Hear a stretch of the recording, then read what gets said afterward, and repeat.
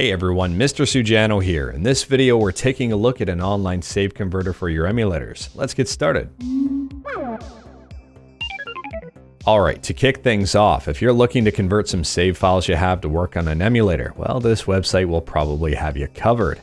It's called savefileconverter.com. It's free and it's perfectly safe. In fact, it's completely open source. Now, this site has a ton of different systems to choose from, and if I'm not mistaken, they're going to be adding even more. One thing I really appreciate about this site is that they've listed where to get your downloaded saves from. If you don't have your own saves, yes, you can pull them from the internet.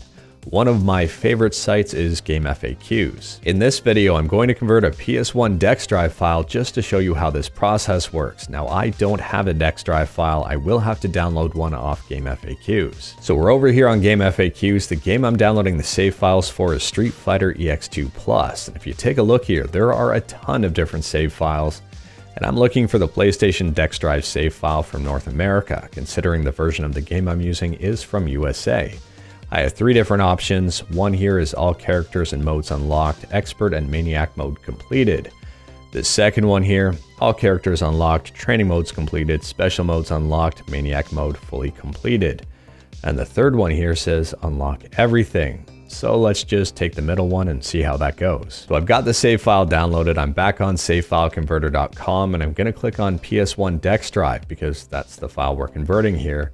And then under Dex Drive, I have the option to select Browse, and I'm going to select it and find the file that I just downloaded. Once you select the game file, you should see some stuff populate on the website. I can see the game listed under where my file is. And on the right hand side, I see individual saves and raw emulator. I'm going to click raw emulator here because I want to convert this to work on an emulator. I'm not looking for the individual saves.